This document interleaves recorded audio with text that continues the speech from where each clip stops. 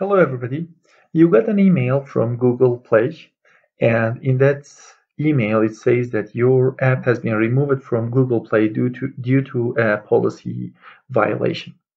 And the policy violation is in most of the emails is privacy policy violation. So, what is privacy policy violation and what can you do to remove it? So basically, privacy policy violation, for example, you are asking a user's uh, an access to a user's camera or an access to phone book or you are asking internet permission or reading his or her SMSs. This is the private information of the user.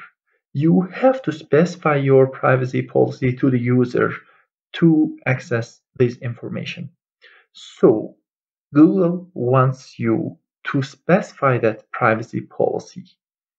And then after you specify that privacy policy, you have to put it to a place within your app that the user can easily access and understand. After you prepare your privacy policy, you will go to your Play console and then select your app and then go to your store listing page and implement a link to your privacy policy. But the problem is how to prepare a privacy policy. Most of the app developers are not experts in computer law or that kind of stuff. But there is an easy way to prepare a privacy policy. In this video, that is what I will show you. Now we will go to a web page here, App Privacy Policy Generator, and I will put a link to that web page in my explanations of the video, but it is app-privacy-policy-generator.firebase firebaseapp.com. So in this web page, you have to okay, let's clean this information.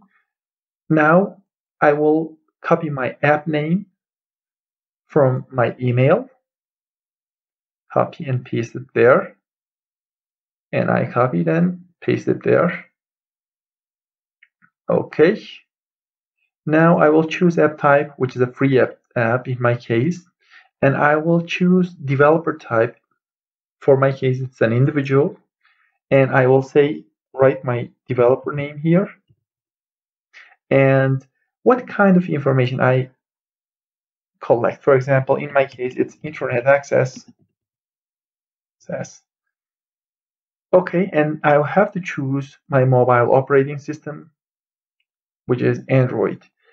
Additionally, on right hand side here, you can see that you can include some links to the privacy policy of other third-party services. In, in my case, you can select Google Play services, and if you have ads, you have to add AdMob service privacy policy links also.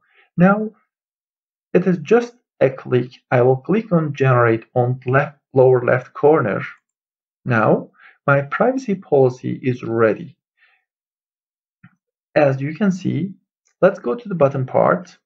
My privacy policy is ready and I can download it as HTML or I can select all and copy it. After I copied it, I have to put this privacy policy to my web page.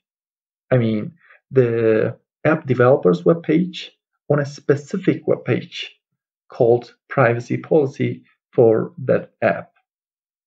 It is very important that you should put it to a proper place. And additionally, you should put the link in your app and that that link should be easily accessible. You have to check, for example, Twitter or Instagram to see how privacy policy access is implemented. So if you do that, you will comply with Google Play rules and then your app will be uh, broadcasted again.